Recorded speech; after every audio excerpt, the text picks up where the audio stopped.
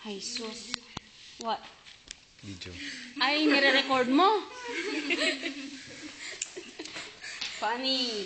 Uh, first, no cutting of title page. Nakakita ka yung title page nga duwa. No. Ah, No. dahil dyan eh, title page nga. Nya, how? Huwag na atang i-double sis. Oo ah. It, a title page must be contained in just one page. Title pages ko na na kumaa. Title page mo lang. Mm. Awang bibiyang ko dita. Okay. ah. Bibi kwanto makamudan to nagiyayo niya mang che. It's not no problem then. okay, I'll go to three. Three. Pero may may kwan, may basis in chapter 3 will always be from chapter 2. Where is chapter 2? Ay, eto. Ay, chapter 1. Ba di jay, jay ko, statement of the problem. Yes, ma'am, chapter sure. Uh, nal- nalos clarita sa kamanan. Mm, here, you did not indicate the, the how to answer. What uh, statistical tool should you use? Mm. The study makes use of frequencies. Haan, tipamayan nyo to answer problem number one. The, oh, the, Nako-conscious ako. To answer problem number one, we use this statistical tool. Like that. Gets nyo? Tap, ganun na naman. Mm. Tapos, uh, to answer problem number two, we use this one. Okay? And then below will be the formula. Pero pwede rin na, as I've seen from your uh, paper, iniligay nyo sa appendix. Pero much better, preferably, kung ako ah, mas gusto ko na nasa uh, chapter chapter 3. Para at least pag ni-compute ng teacher, possible. Okay. Next, highly acceptable mo. Ayan na naman yung acceptable ang kabilan nyo. Di ba dapat at least add datoy? Lima. Hmm. Add datoy dapat. Oo, it should be add. Add the Dapat, kaya dapat yung skill cut 5 to. 1, 1 to 5. Nya. Okay, so highly, very, highly acceptable. Balikan moderately. Very dapat. Very high, very acceptable, highly acceptable, acceptable, poorly acceptable, not acceptable. Gets? Hmm. I-post mo yun ah. Next, next, next. Eto, flow chart. Mm-mm. Ha, ah, no flow chart. Ganun lang, hindi pa ganun. So, yun. Ano ato? Bongga. Oh my God. Dapat tuloy na Chinese. Apay, no, nayon na pa'y dato eh. May muchacha. Next. Ito, ito, dito ako nagka-problema kasi. Hmm. Asa na yung umpisang kong we're taken to ask. Ang kasi wala po. There should be grid, grid, grid.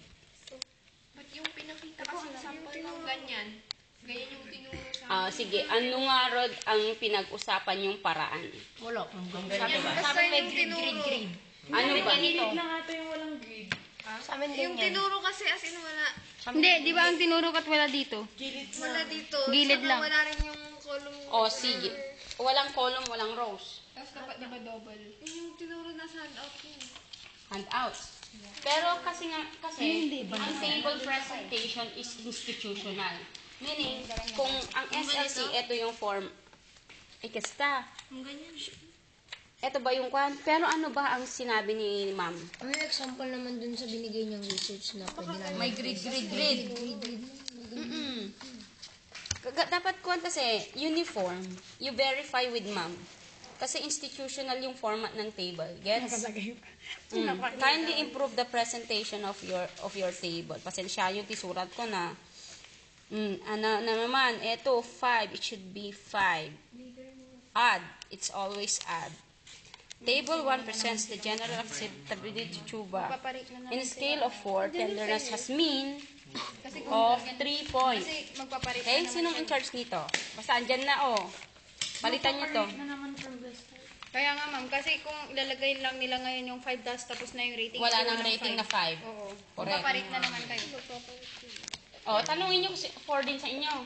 Pero pinay pinayagan nung nag-propose kayo na pinayagan na 4. Ay, tanungin nyo. Kasi hanggat maaari. Even sa judges, number of judges, it should be add. Kasi how to break the the the, the Kasi tie pwedeng mag-tie. if it is even. So there it must always be odd. 1 to 3, 1 to 5.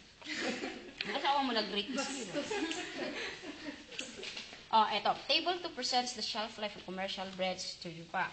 Mhm. In, dagita, technicalities kasi manan. Pero dito, tignan nyo ah, acceptability oh. The significant difference is, awan, hana nga, hana nga nga kwa, hana diniscuss nyo anong, anong kwan, anong implication nito. Let's start nga from this one. So, yun yung format. Table 1 presents the general acceptability of quality of marunggay bread in terms of thin uh, scale, the descriptive equivalent of quality of produce in terms of tenderness, highly acceptable. Okay. Self-life experimental. Table 2 presents the shelf of commercial bread and experimental 3 of its shelf life X. In Z, that is 5 in it. The mean in commercial bread is 5 point. Anong ibig sabihin yan? Explain. Ha?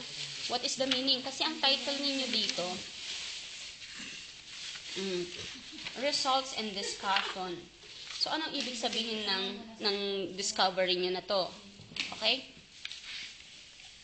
Acceptable bread compared to commercial. Table 3 presents acceptable compared to commercial. The mean of commercial bread in terms of tenderness, in terms of taste, the mean of commercial bread is in aroma, is spelling nyo, in terms of color. The mean in commercial bread is 3 ba? And the mean in experimental. Okay. Anong ibig sabihin niya? O, tignan niyo to ah. Kunana, uh, the significant difference. Tites, it's not, there is a significant, the significant difference is, it's not that one. You refer this one, refer to the critical value of z-test. Critical or tabular value. Ah, you refer this one. It's not, this is not your basis. Compare mo yung, this is, ballpen mo man natin. Ito. This is tabi, ay, computed value. Kanina pa. Dapat kat you refer, compare the computed value and tabular value. Okay? Hindi ba kayo nag Oh, hindi ba kayo nagganito ng statistics nyo? Tabular value, computed value, awan. Mm. If computed value is greater or equal to tabular value, anya? Reject, accept. Accept the Ne, reject. Where? What did you learn?